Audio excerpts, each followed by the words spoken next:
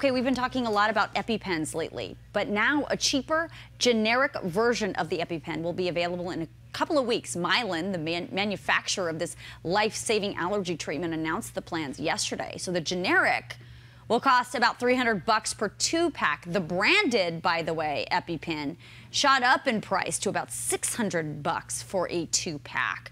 So joining us to talk a little bit about the strategy behind this, what is really going on, Dr. Tim Mackey, right, assistant professor anesthesiology and global public health at UCSD School of Medicine. Good morning. Good morning. Thanks okay. for having me on. Oh, thank you for coming in. Okay, so the first thing is for people at home that don't know what EpiPen is or what it's used for, let's explain that. Sure. So it's uh, essentially it's an emergency uh, medicine or a life-saving medicine uh, to make sure if you have um, or you're suffering from anaphylactic shock, you can administer it, and then your severe allergy will go away. Okay. So life-saving drug. Life-saving, exactly. Then that's no joke when we say that. Absolutely. And so that's why when Mylan announced, or when we started to hear that this product shot up in price to 600 bucks. Mm -hmm everybody started freaking out. So Mylan took a very interesting approach in creating its own generic.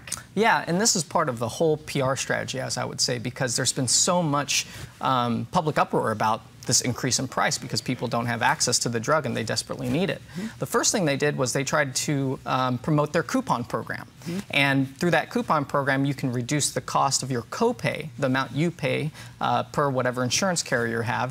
And that was their first response. And they also uh, allowed for a more robust patient assistance program. Mm -hmm. And when all of that came out, it didn't work. So essentially, they went back and said, well, let's do this other strategy, which is let's create a generic version of our product, and hopefully that will appease a lot of the a lot of the public and a lot of the people that are concerned about drug pricing. Okay, so I'm sure the people that are watching right now are thinking, mm -hmm. my child or I need this life-saving yeah, medicine. Absolutely. Um, is the generic, does it have the same ingredients? Is it going to be as effective as the original EpiPen? Yeah, so the generic version that Mylan is saying that they're going to produce is the exact same drug, the exact same application, so the exact same pen, it's the exact same product. The only thing that will be different is, of course, the name of the product, which we haven't heard what the name will mm -hmm. be, mm-hmm. but there'll be one branded product called EpiPen and one non-branded product called whatever they decide to uh, name yeah. the product. You can think of it as, you know, generic cereal. One is Cheerios, one is Toasted Oats. Right. But okay. they're the same thing.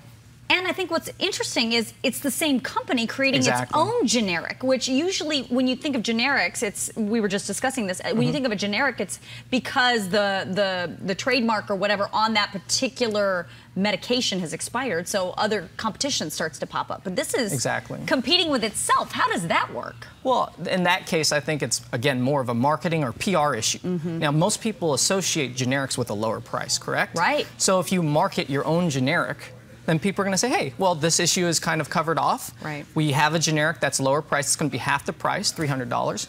But essentially, for a lot of consumers, uh, your insurer may already have a discount uh, with Mylan, and the mm-hmm. actual price of the product may not be that different between the branded EpiPen and the generic product. Really? And especially if uh, you're going, you have access to the, the coupon program that Mylan's providing, that's a $300 discount.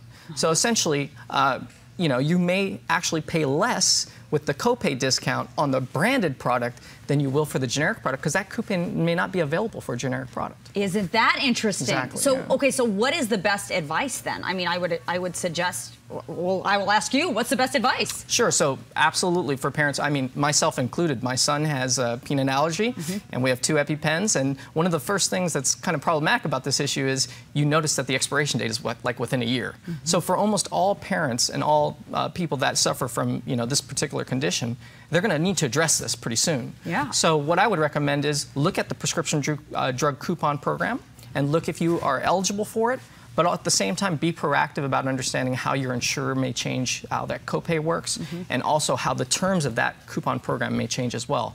Unfortunately, in this case, consumers really have to be informed shoppers, and they have to make the best choice to make sure that they're getting the drug for the correct price. I think perhaps it's very, very important too to just reiterate that it's mm. important when you go to talk to your doctor, and you know, oftentimes we'll just say, "Oh yeah, give me the generic." It's in, and in your mind, mm. you do so because you say, oh, it's cheaper, it's the same product, but it's cheaper. Yeah. It's important to really be informed because that generic might not actually be may not be cheaper for you. Isn't it really depends. And the problem again with this situation is Mylan really doesn't have much competition in the marketplace. Or so none, that's the or full, no competition, exactly. right? so that's the full reason why you see these drug price hikes, Mm-hmm. and in, and the reaction is is all this type of PR that's coming out, but it's it's em- emblematic of a larger problem in Right, our in our drug. right. uh, All right. Tim, great to talk to you. Thank you so much for your insight into this. We appreciate your time. Thank you very much. All right.